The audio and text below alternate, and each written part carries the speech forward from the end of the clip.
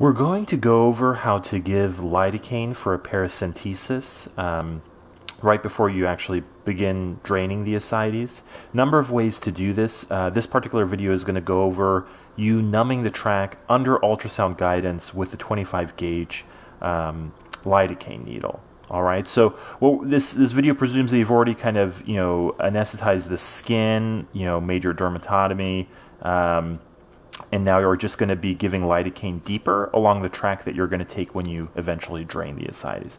Now we have um, our ultrasound probe here on our, our pocket of ascites, is subcutaneous uh, tissues.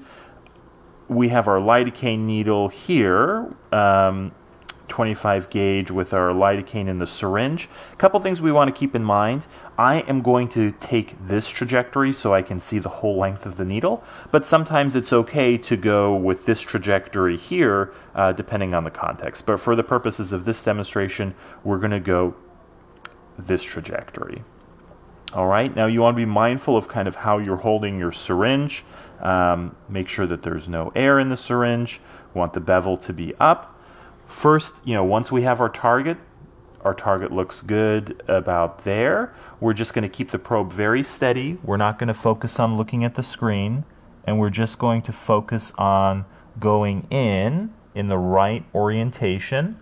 And then once we kind of start going in, we can see our needle tip right there. So we can give lidocaine, go closer to the edge of the ascites right there just make sure we can kind of see our whole needle tip. And then we'll give good lidocaine right next to it. Um, right next to it right there. Very good lidocaine. And then we can give the lidocaine on the way back. And then um, that's pretty much it. We'll just have to bury our sharps and be careful, but we've anesthetized kind of along our projected track we can see kind of the air in the gel mold. Um, but we know that we've numbed, and that's the same trajectory we'll take later on um, when we drain the ascites.